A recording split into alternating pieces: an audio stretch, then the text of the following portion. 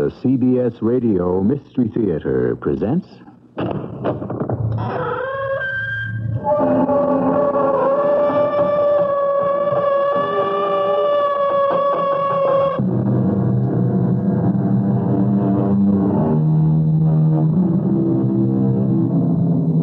Come in. Welcome. I'm E.G. Marshall. If you go by statistics, most murder victims are killed by people they know a friend, a relative. And almost always, such violent death is the end to a quarrel, the fatal heat of the moment. Today, something quite different. Crimes without passion. Committed not in hot blood, but in cold. Are you, you you're the man they the man they call Cool Killer Karl. Yeah, that's me.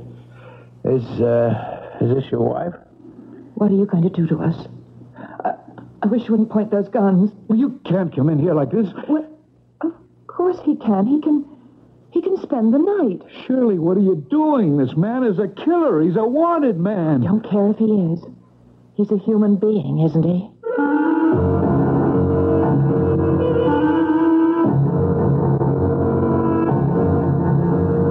Mystery drama, Cool Killer Karl, was written especially for the Mystery Theater by G. Frederick Lewis and stars Mason Adams. It is sponsored in part by Contact, the 12 hour cold capsule, and True Value hardware stores. I'll be back shortly with Act One.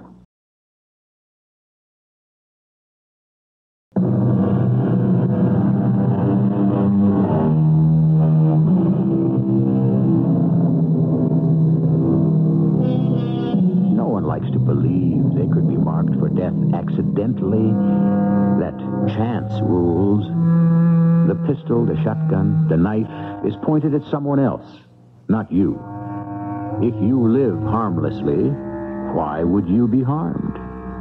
The question haunts us. The answer eludes us, and so we don't like to think about it. Some of us, however, have to think about it and do something about it. One such person is Lieutenant Poletti of the Union City Police Force. This case took us two years to solve. And if it wasn't for the action of one family who were threatened with certain death, who knows how many more lives he would have snuffed out. Who was he? I'm talking about Karl Hefner, or as we used to call him at police headquarters, Cool Killer Karl. And man, he was cool. Take that April Fool's Day when Karl walked into a bar on James Street. You're lucky, I'll say that for you. I was just about to close up the bar for the night. Well, what'll it be, Mac? You got time for just one drink. I see you've got another customer, so I guess I don't have to rush. Oh, you mean him? He's been nursing that drink for too long. I can't make any money out of him. Uh, hey, Kramer. Kramer, I'm closing down, pal. Ah, but it's just as well go home and face the music. Wh- what do you mean, uh, Mr. Kramer? Oh, when I get home, believe me, my wife's going to throw the book at me. Yeah, how come? This is the second pair of glasses I've busted this week. Oh, Vinny's going to lay me low. Okay, kid, what's in your mind? Hey. Wh- What are you, what are you doing? What, what, what is this? This is a gun. And this is another gun. Both are loaded. Hey, put those away, young man. Now, don't go sticking your nose where it isn't wanted, mister. Stay healthy. I'm a cop off duty. Don't reach for your gun. Kramer, don't. Yeah, that, that's why I, I carry two of these. One for each arm. Please, Kramer, do as the kids say. He's giving you good advice, cop. Now take it out slowly. That's right. Very slowly. And now, slide your gun down the counter to me. Go on. Kramer, please. And now, cop, just remain where you are. You sit right there, and you finish your drink, and think about your wife. Okay? And now, you were asking me what I'll have, weren't you? Sure, sure. You, you, you, you name it. I'll take whatever's in the cash register. Don't stall, friend. It's not polite, and it's unwise. Open it up. All the green stuff. And, uh, by the way, in case I should be coming in here again, my name isn't Mac. Good night, gentlemen. Any sign of him? Ah, that kid must be an Olympic champion sprinter. When I got out to the street, he was but nowhere. I ran up the corner, James in front, no one. Back down the other way to Main. Not a trace. There's no crowd this time of night for him to disappear into. He's just fast. Oh, you, you'll, you'll get him. Feel like such a darn fool. Me, a cop, and this happened. Oh, believe me, Kramer, I'm just as glad there was no shooting. Oh, boy. Wait till Poletti hears about this. Who's that? The lieutenant. Oh, but that, that fella had the drop on you. You had no choice. Yeah, yeah. Let me have my gun, will you? Yeah, here. Here, take it. Don't let it get you down, Kramer. I, I'm only out 60 bucks. My life's worth a darn sight more than that.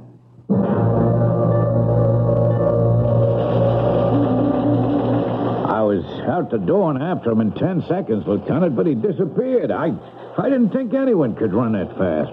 What did he look like, Kramer? Well, clean shaven, five foot four, thin, had on what looked like uh, army fatigues, you know, the fake surface kind.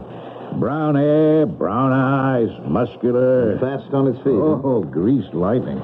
Up James Street and out of sight. And a very calm demeanor during the holdup. Calm, cold. Two guns, you said, hmm? Yeah, 44s, both of them. Mm-hmm. I hate guessing, Kramer, but I'd say that's the same guy who's been keeping the other precincts jumping. Holding up neighborhood saloons since last Christmas.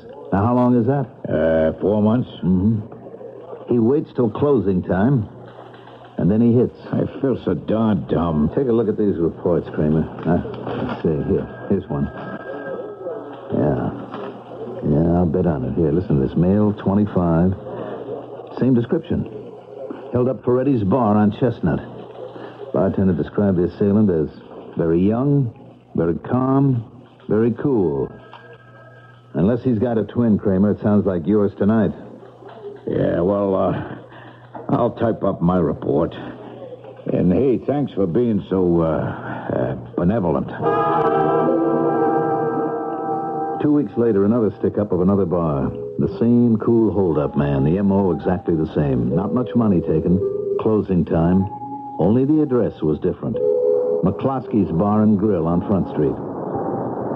At 11.30 p.m., richer by $125 than he'd been five minutes earlier, a man ran out of McCloskey's, made a 50-yard dash up the street, and jumped into a cab parked at the curb. Get going. Get going, driver, fast. The cab driver knew something was wrong. He fumbled with the ignition key and then froze. In his rearview mirror, he could see a big man wearing a bartender's apron running up the street toward his cab, yelling, Stop, stop, stop that Come man. on, come on, let's go, chum. Please, you gotta help me. See, that, that man back there, look. See, see, I've been romancing a girl, and I only just found out that she's married. And that's her husband heading for us, and he's threatened to kill me.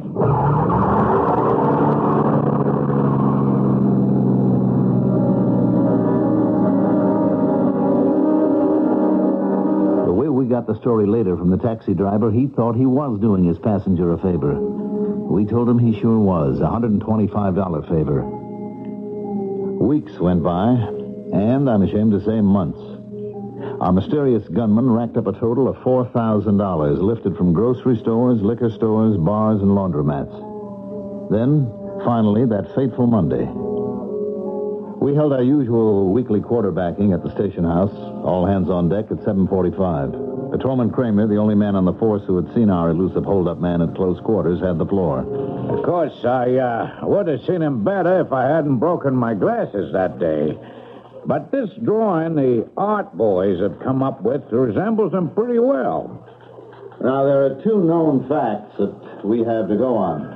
One, this young punk is going to go right on robbing. He's too successful and he's too cool to stop. Our psychological report tells us we're dealing with a character of exceedingly high intellect. Fact two, for 22 months now, this man has pulled out two loaded 44s and one threat. Now, one of these days, one of the 44s or the other, or both, will go off. And instead of hunting a thief, we'll be tracking a murderer. Remember that. All right, boys. You've all got a sketch of the wanted man. Now get out in the street and search. Yes, Uh, Lieutenant, Yes, Kramer? Lieutenant, uh, I've been uh, examining this drawing with my glasses on, and there's one thing that comes to me. I mean, uh, identification that might help. Yeah? The man we're looking for has got a mole on his right cheek, high up, almost under his eye. All right. All right, boys. You heard what Kramer just told me. Pencil in that mole. That was 8.15 Monday morning. Patrolman Kramer took the subway to Union Avenue, where he was detailed that day. At 8.47, Kramer stood up and went to the subway train door. Union Avenue was the next stop. Sitting in the seat right by the door was the young man with the mole on his cheek. The man, Kramer was certain, who had robbed the bar on James Street April the 1st. Get up, fella. What's the matter? Oh, I'm, I haven't done anything. I, what, what do you want from me? I want you to get off at the next station. Well, what for? That's not my stop. It is now. Come on, on your Oh, feet. c- you can't go around dragging honest, law-abiding citizens off trains just, just because you're a, a cop. You're a suspect. I certainly can. Come on, of the platform, kid. And don't make a fuss if you know what's good for you. I you. tell you, I tell you, you're making a mistake, officer. I have done nothing wrong. Well, we'll see. Just you stand there. Oh, look at that. You, you, you made me miss my train. I tell you, you've got the wrong guy. Yeah. I got a picture here which says different.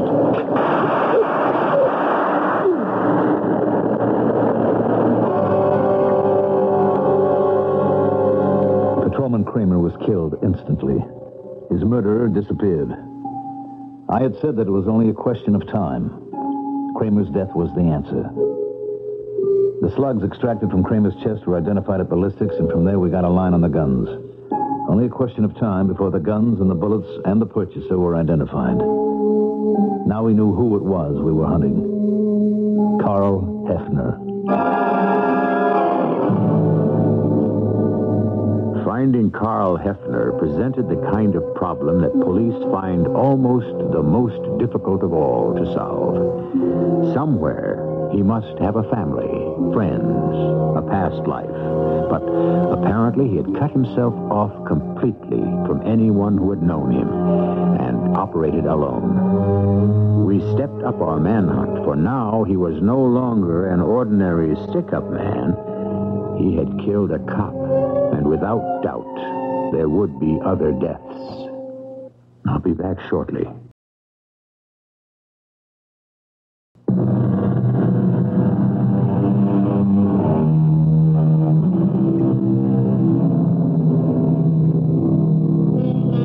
Headlines screamed in Union City, in the state, in the entire country.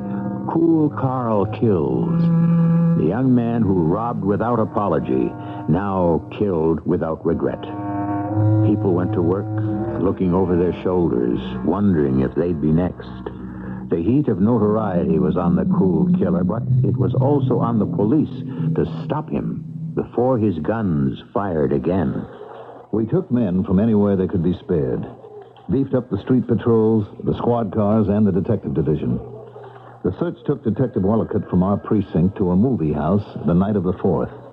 They were showing an old war movie, the Japanese attacking Pearl Harbor. In a back row, apparently dozing, sat the man we were looking for.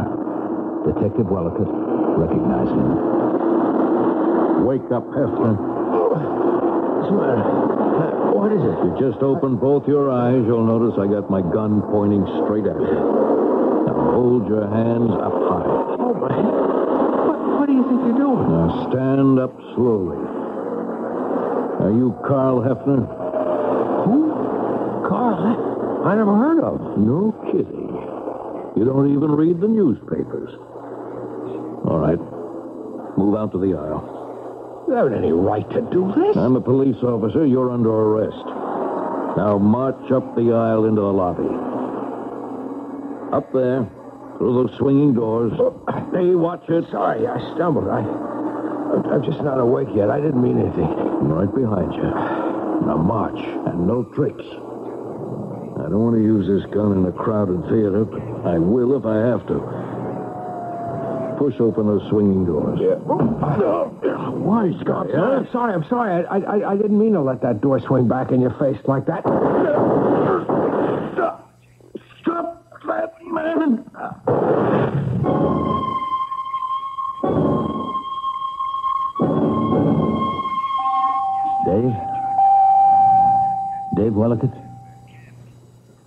It's me, Poletti. Oh. Hi. Where, where am I? You're in the hospital. No kidding. I've, I've, I've been here long? Since last night. Now, don't talk, Dave. I'll fill you in. Yes. Something tight on my chest. I'm strapped up clear to my neck. What, what happened? He fired at you point blank. Three slugs in the chest. No kidding. And I'm, I'm still here. You don't know the half of it. That, that cool Karl leads a charmed life. I questioned the guy behind the candy counter, Dave. He saw the whole thing. He saw you bring Hefner into the lobby, Hefner in front of you. He turned around and pushed the swinging door into your face. And when you got the door open, he let loose with both guns and was out of there before anyone knew it. Yeah, I, re- I remember. But I'm sure I hit him. That's right, you did. Guy at the candy counter said you got him in the leg. We found blood all the way into the street. Lieutenant, I, I, I, I don't feel very good. What, what are my chances? They're good, Dave. Very good. You were on the operating table from midnight until four this morning. They took out three slugs and then sewed you up. They took bullets out of my chest. And I'm still here. That's it. Cool Karl's not the only one that leads a charmed life. How, how did I cheat the morgue? By a heartbeat, Dave. You know, the doc told me that at that split second when you were shot, your heart had contracted. If it had been expanding, the bullet would have nicked the heart, and right now, we wouldn't be talking. So you'll be as good as new, Dave. They're sure about that. Thanks, Lieutenant. I think I'll go back to sleep now. And as soon as the stitches are out of your chest, maybe I can persuade the commissioner to pin a medal on it. Within minutes of the attack on Detective Dave Wellicut, we had a complete circle cordoned around 10 city blocks of the area. No one could leave or enter without being questioned. What we didn't know was within minutes after the shooting, Karl Hefner was ringing the front doorbell of an unsuspecting family of four Mr. and Mrs. Edward Cable and their two small children. This is the way that encounter was pieced together for the police later. All right, all right. Hold your horses. I'm coming. Shirley, be sure to put the chain on the front door before you open it. You know what they said on television. Okay, hon? I, uh, I guess you know who I am. Yes. Is, is that gun loaded? Oh, they both are. I just shot another cop. Now, do as I say, and nothing will happen to you. Take your foot out of the door. Shirley, what is it, dear? Who is it? Ah, good Oh. evening, sir. Um, I just told your wife uh, to take it easy, not to panic, to keep calm, and nothing will happen to you. Hey, those, those are guns you're pointing. Aimed right at your wife, sir. And I can shoot a lot faster than you can close this door. What are we going to do? Shirley? That's the man Karl Hefner they've been talking about on TV. Look, would you would would you go away, please? We we have two little children upstairs. You sound like a nice family. Uh, they'll they'll never they'll never look for me here. Will you go somewhere else and leave us alone, will you? Yeah, if if you're really thinking of your kids, now you wouldn't want them orphans, would you? Just let me inside and close the door behind me quietly. There. Now look, I I really mean it. I promise you. I just need to stop running and rest for a bit.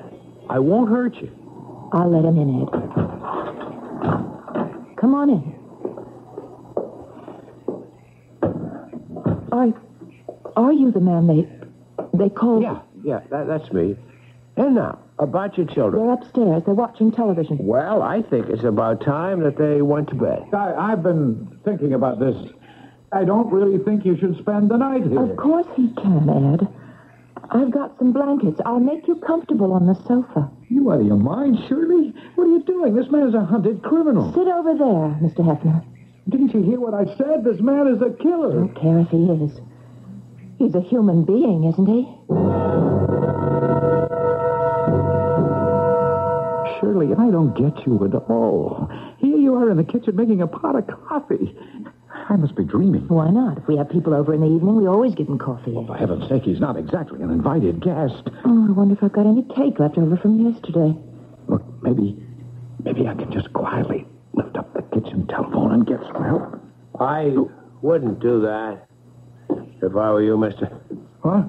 Uh, do what? Take your hands away from there. Leave the phone alone, okay? Unless you want me to rip it out of the wall. Karl, uh, you sit down there and have some coffee. Coffee? Why not?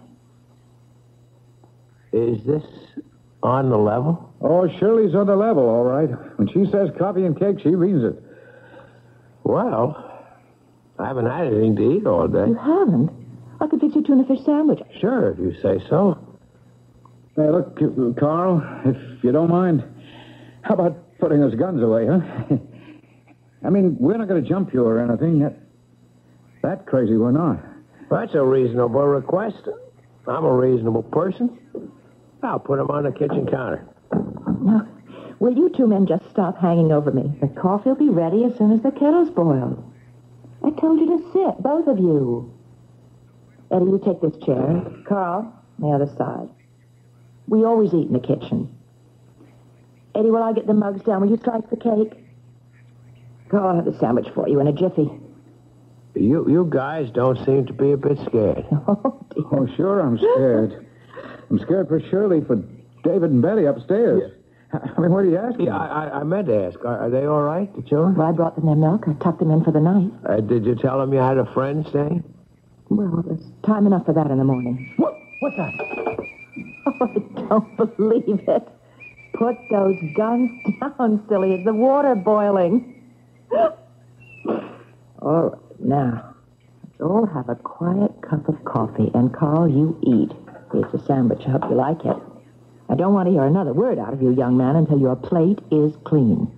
You know, you sound just like my mother.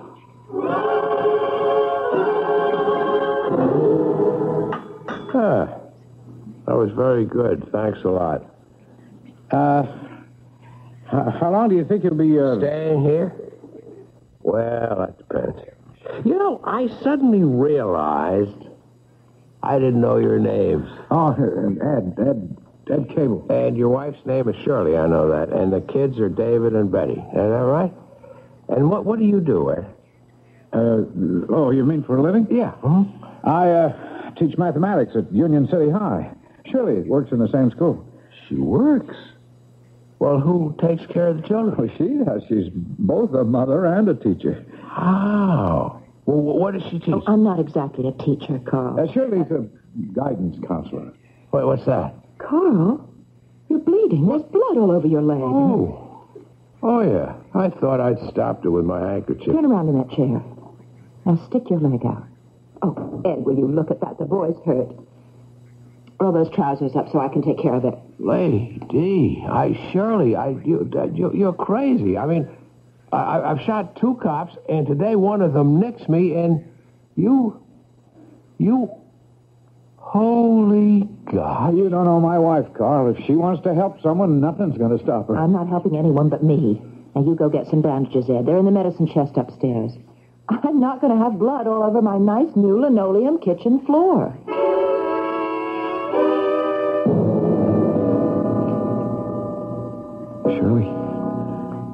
You sleep? No, I've been lying here thinking about him. It's awfully sad, isn't it?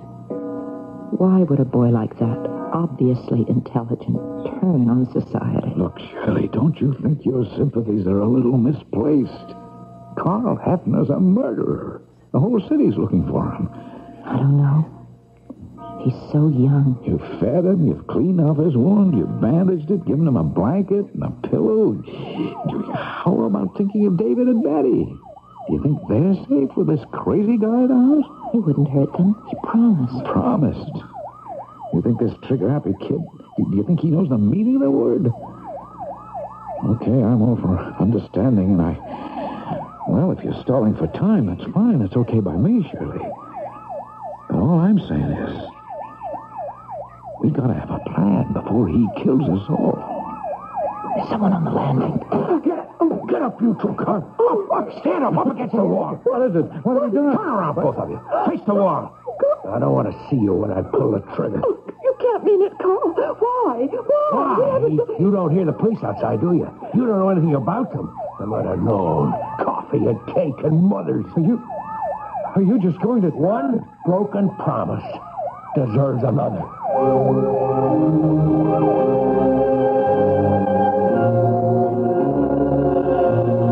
In the underworld, the code of the criminal rewards treachery by death. Cool Killer Karl is obeying that code. The sanctity of life? He never heard of it. To him, it is not a matter of revenge, but justice. He who rats on me deserves to die. Besides, no matter how many more corpses Karl Hefner adds to his list, society can only pay him back once. I'll be back shortly with Act 3.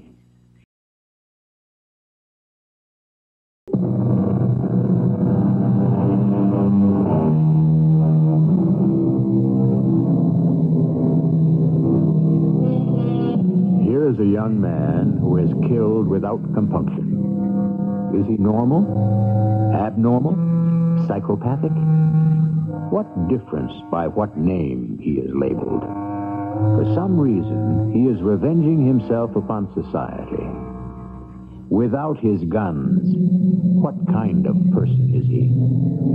Afraid? I never thought it would end like this. Shot in the back by a coward. Who's a You can't even look us in the eye when you do it. Are you going to ask the children to bury their faces in their pillows when you shoot them so you can't see them looking at Shut you? Shut up! I'm not going to turn around, Karl. Those police outside, we didn't call them. You're as good as dead if the cops walk into this house. I told you both to play it cool and you wouldn't get hurt. How dumb can a wise guy be? I swear we didn't call the police. Oh, yeah? Why have they turned off the siren? I changed my mind. I'm taking your wife downstairs, Ed, with me. Now, if any cops come to the door and she doesn't give them the answers I want to hear, she gets a hole in the back of her head. We didn't call the cops, I swear it. And then I'm coming up here for you, Ed, and the children.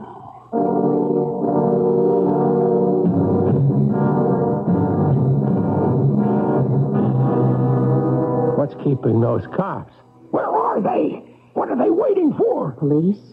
Maybe they're just out there giving parking tickets. Don't be funny. I disagree with you, Karl. It just doesn't make sense to me that you'd kill me and my husband and David and Betty. For what?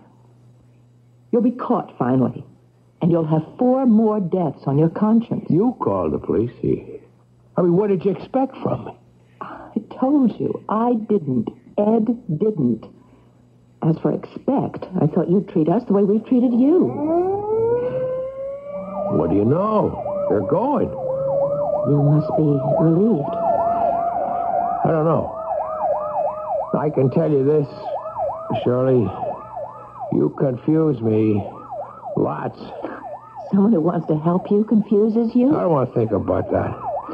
I don't want to get caught. Not just yet, that's all. Is your leg still hurting you? It's all right. You ought to get to a doctor. Suppose it gets infected. It could, you know. A bullet wound. Do you really care? Well, of course I do. Why? I mean, what, what, what am I to you? I keep thinking, my own son, David. I mean, supposing someday something went wrong for him and he needed help. What if I wasn't around? I'd hope he'd find someone to help him, too. I'm only doing what any mother would. Maybe if I'd had you for a mother, it would all have been different. You'll never make me believe your mother didn't love you. She sure had a funny way of showing it. Is she still alive, your mother? Does she know where you are? Uh, she does now. They got pictures of me in every newspaper in Union City. Television, too, I guess. When was the last time you spoke to her? I don't know. You haven't spoken to her. Not in three years. Gosh, I'm tired. Three years and two months. It was my birthday, and we had dinner. She made me a special birthday dinner.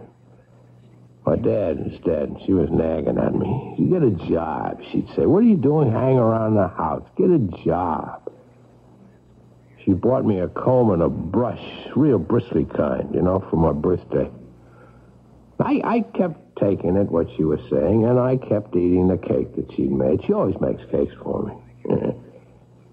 And then I walked out of the house. I never looked back. I didn't even take my new comb and brush she gave me. I never saw her again. You never even phoned her? But you should talk to her. Does she live far? Well, Barrett Hills, right outside of the city.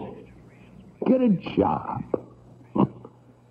I guess I'm sorry about one thing. In all this time, I didn't do one thing to make my mother proud. Done it all wrong. But it's too late now. They'll get me, the cops. They don't kill me, I'll go to the chair. You could make it easier for your mother, you know, if if she saw you before. I guess. I'd like to see her, too. You know, they say if you're on death row, they give you one last wish. One last meal and one last wish. So I'll tell him I want to see my mother. Bring her here. Why wait, Karl? Maybe you won't get that chance. I wasn't the first to shoot. Sure, I threatened with a gun, I know that, but the other guy always had his finger on the trigger before I did. I believe you. When I was a kid in school, nobody took me seriously. I was a school joke, you know that? I was always dropping things. I was always breaking things. Clumsy Klutz Karl. that was my nickname, Karl the Klutz, when I was a kid. I sure changed everybody's opinion. Just by showing them a muzzle of a 44. And with two 44s, eh, ha ha ha ha, yeah, they believed me twice as much. With threats, sure, but you didn't have to be taken at your word. Oh, word. boy. Oh, boy. They knew I wasn't kidding around. I had to do that, you see? For my own self-respect. Karl, tomorrow morning, if I get your mother on the telephone, will you talk to her? Oh, you mean just like that? I'm going up to bed now and have a look at the children to make sure they're all right.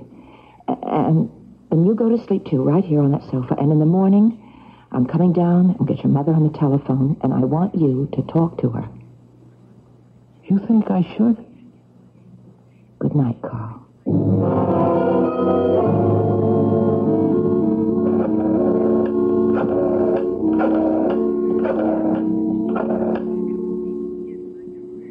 Hello?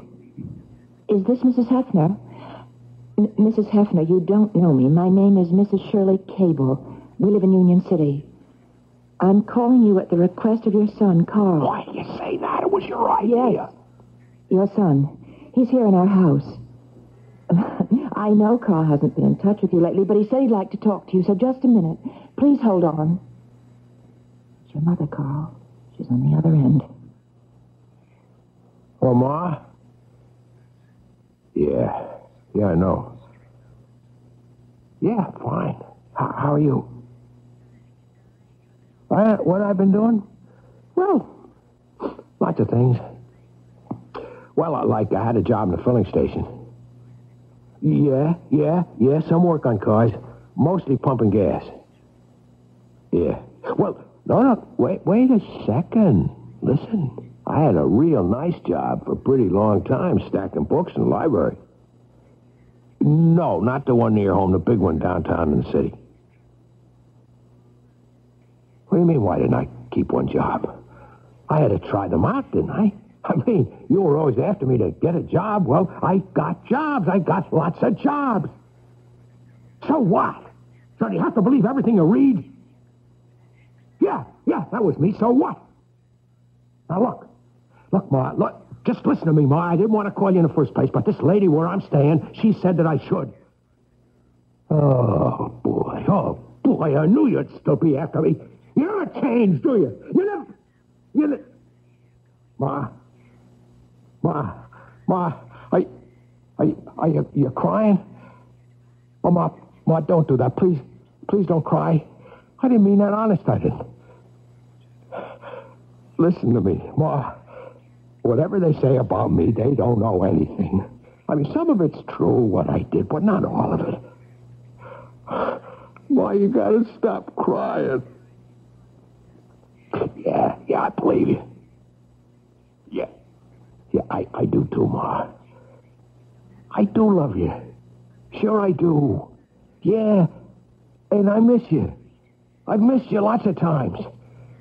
I get so lonely sometimes. But I, I had to go away from home. When you never listened to me. Oh, no, no, you didn't. I, I... See, listen, Ma, I had to make people listen to me. Come home? I can't, Ma. I gotta lay low. Yeah. I wish I could see you, too. Hey, Ma, if everything goes wrong and they get me, I promise you I'll see you. I'll make them get you to come see me. Oh, Ma, don't. Please. Hey, Shirley. Shirley, will you please talk to her? I can't anymore. Mrs. Hefner, this is Mrs. Cable. Yes, he's all right. I know he's a good boy. Mrs. Hefner, you can't blame yourself. I'm sure you did. And whatever Karl's done, I'm sure he's deeply sorry. I certainly will, and, and you take care of yourself too, Mrs. Hefner. No. Don't thank me, Mrs. Hefner. It was Karl's idea. Yes. Goodbye. You have to say that. I never thought to call her. It was your idea. No, not really, Karl. Deep down, you wanted to speak to your mother. I know you did. They're going to get me. I know they will. Yeah, it's a blessing, I guess. I've been running away for years and years. Running since I ran away from home. Your mother told me to tell you that she always loved you. And I should be sure to tell you that. She said that? Always? Yes, she did. Now come along into the kitchen. I'll bring the children their breakfast, and then you and Ed and I will have some breakfast, too. Karl Hefner kept the Cable family prisoners in their own home all that morning. He watched television down in the living room, staring at the special news bulletins about his escape and the wounding of Detective Wellicott. While he watched, Mr. and Mrs. Cable had a hurried consultation in their bedroom. We, we can't go on like this, Shirley. Hour after hour, just waiting. Waiting for what? You got to get the kids out of this house. He's calmed down, Ed. He really has. Yeah, for now. I think I could make him give himself up. Not in a million years. Don't count on it. He's he's he's erratic. He's irrational. You're wrong, darling. You should have been there when he called his mother. He can be reached. Darling, you He know I respect everything you stand for and do, but this isn't some rejected teenager in school that you can steer with guidance counseling. Karl Hefner is killed in cold blood. He's way past the point of being able to return. Ed, please, don't do anything. Wait, just a little No, longer. listen to, listen to me for a minute.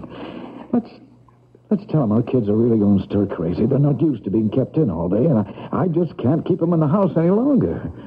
And if he'd be a good fellow and let us all out of the house for a, a breath of fresh air, we won't do anything that would jeopardize his safety. I'll promise him that if I have However, to. don't promise. Shirley see him for what he is, please. Honey, I have to think of our safety first. Well, you'll have to make those promises to him yourself. I can't. He trusts me. Okay, okay. I'm not asking you to. You you just go get the kids ready and leave the rest to me. At 3.35, I got a telephone call from Ed Cable from a street phone booth. They had run from their home ten city blocks. He had his family safely with him, and they were going to his mother's. At 3.45, we had the cable house surrounded. Karl Hefner. Karl Hefner. We have this house surrounded. This is the police. Come out quietly with your hands up. Come out, Hefner, with your hands up. You haven't a chance. Don't waste your ammunition, Hefner. You're just making it harder for yourself. We have 20 trained marksmen waiting to pick you off. Come on out. Live a little longer.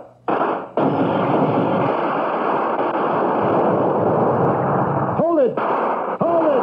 Hold your fire! I'm going into that house.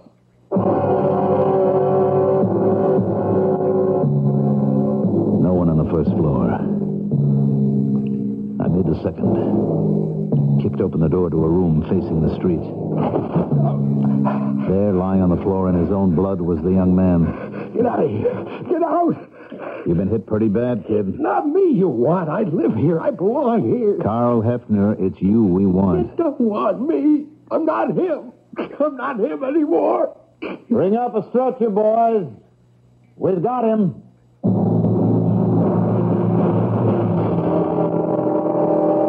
Young man gone wrong, leaving behind him a trail of blood and ending in his own. A young man so sure he was misunderstood, that nobody cared, that his worth was unrecognized. Six months later, cool killer Karl paid the supreme penalty. But in his final earthly hours, he was granted his wish. His mother came to see him. And when she left, it was reported this troubled youth seemed calmer. At long last, he had found peace. I shall be back shortly.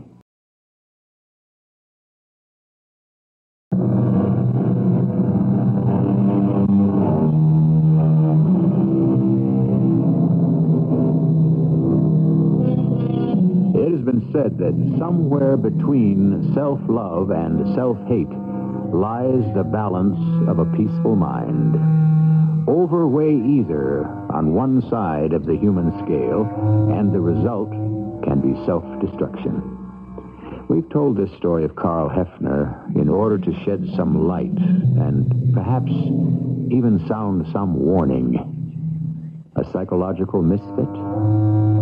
We'd rather remember him as a man who thought he was unloved. Our cast included Mason Adams, Marian Seldes, William Griffis, Ian Martin, and Mandel Kramer. The entire production was under the direction of Himan Brown. And now, a preview of our next tale. My wife will never speak to me again if I sell that portrait. You are not selling it. You're giving it away. Why? Why are you doing this? I am a rich man. I can afford to indulge my whims, my fancies.